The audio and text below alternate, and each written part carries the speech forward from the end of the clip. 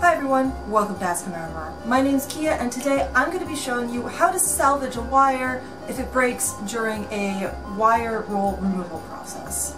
This question came up after I posted that video on how to remove a wire using the wire roll method and I mentioned one of the possible downsides is the wire could break if you're not careful or if it was just already broken to begin with, but I didn't say anything about how to recover it.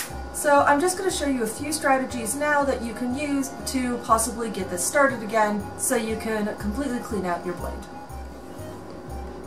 For this, you'll need your blade, your pliers or Allen key, a utility knife, and possibly your acetone bath and acetone. So find where the wire broke. If you're lucky, there will be a bit of a tail left over that you can grab. Simply grab this again with your pliers and start rolling again. If you're not lucky, the wire will be stuck in the groove and we'll have to go get it out. If this is the case, the next thing you can try is to check the other end to see if there's enough tail there to grab.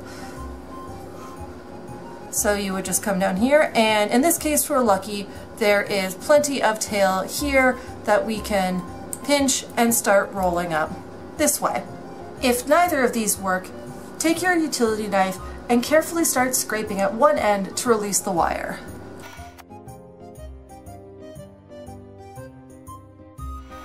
It may come up easily or it may take a couple of passes, but once you have it, again, simply start the rolling process over.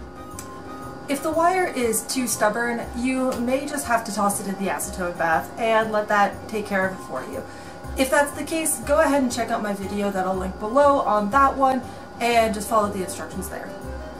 And that's all there is to it. Thanks for watching everyone. I hope you found this video helpful. If you did, please be sure to like and subscribe, and as always, if you have any questions, comments, or other topics that you'd like me to cover, let me know down below.